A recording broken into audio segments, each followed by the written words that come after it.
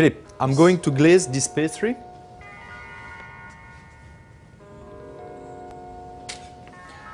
And as you can see, it runs off. And Alexander, I can even see the pastry through it.